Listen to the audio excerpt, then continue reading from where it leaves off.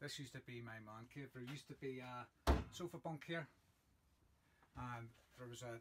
You don't need to put it on this, but there used to be like a big TV, 50 inch TV. I've got my fire and stuff. But what we're going to be doing today is we're going to be putting up a, a plywood back on this so I can hang tools up. The first thing is uh, I've made this here uh, workbench so it can be removed.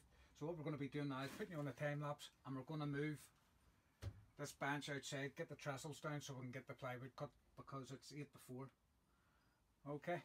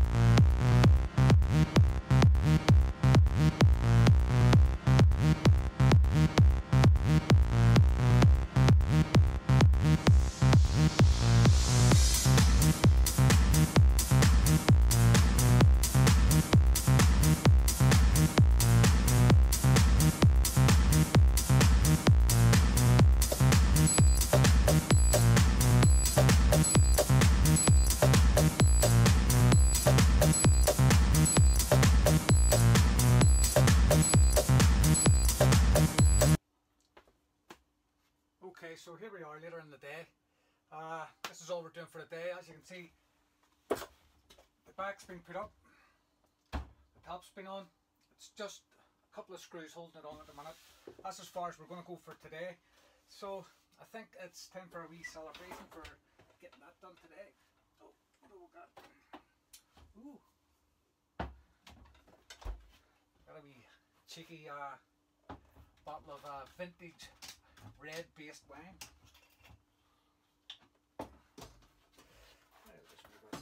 So place is a bit of a mess at the minute, so.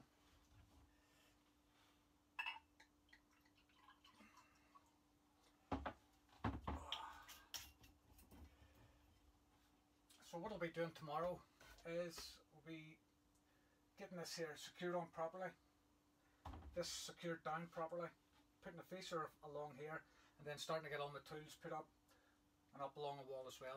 So, ah, cheers.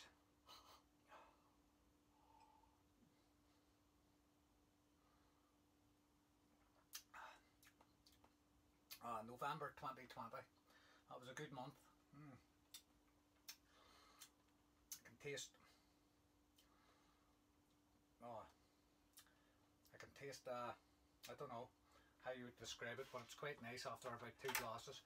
So thanks very much folks for watching and then don't forget to tune in tomorrow. Well, it'll be just like a second for you anyway. It'll be tomorrow for me, I'll probably be dead rough.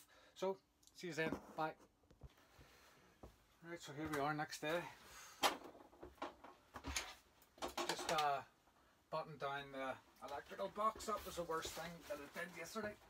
That's my father-in-law put it down and what he did was he cut the, the leads uh, perfect but anyway so I had to put that on and then try and get the leads to extend in it don't know if you can see it yeah you can't. but that was that all done anyway so what now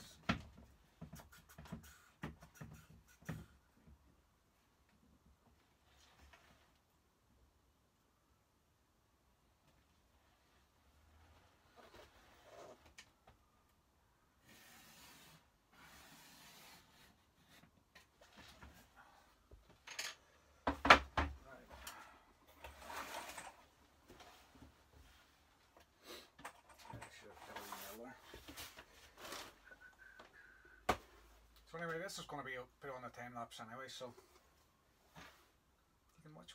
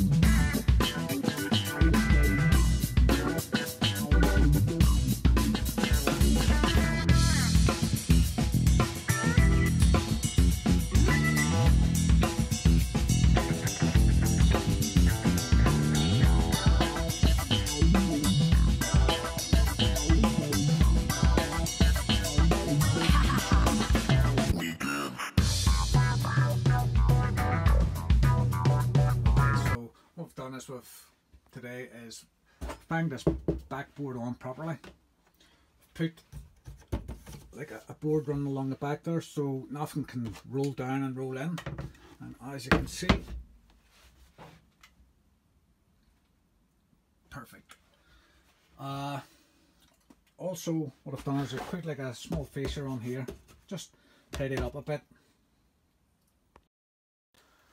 Right, so basically I'm just going to call this part one and wrap it up now. Uh, part two will be putting all my tools all on the backboard and getting the whole workshop organised. It's uh, from going from a man cave to having a TV and all the luxuries to going to a workshop. I think that's been the right plan now because I made this here uh, man cave about five, six years ago. For family coming over from Northern Ireland over to Scotland, so they could have stayed here. But, however, no one turned up. so uh, I've just decided to have it in the workshop, and I think I've went down the right route. Thanks very much for watching. Part two should be coming along very shortly. Thank you.